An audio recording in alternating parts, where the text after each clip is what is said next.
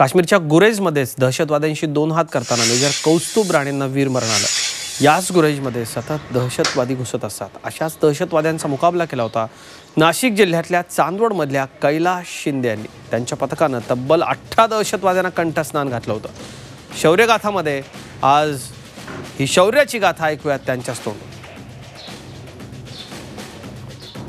जिथं ज्यावेळी जम्मू काश्मीरला माझी युनिट असल्या असताना अचानक सूचना मिळाली का अठरा अठरा आतंकवादी बॉर्डर क्रॉस करत आहे त्यावेळेस आमचं सिलेक्शन करून एक टीम हेलिकॉप्टरमध्ये बसून आणि गुरेज सेक्टरला उतरवण्यात आलं. तिथं आम्ही सर्चिंग सुरू केली आणि असं चार दिवसाचं ऑपरेशन चालू असताना अठरा आतंकवाद्यांना आम्ही कंठस्नान घातलं आणि त्याच्यामध्ये आम्ही असं यशस्वी ठरलो का आमच्या कुठल्याही जवानाला कुठल्याही प्रकारची काही जोखीम न उठवता आम्ही सक्सेस ऑपरेशन केलं आणि भरपूर मात्रात त्यांच्या गोळा मारून कॅप्चर केला.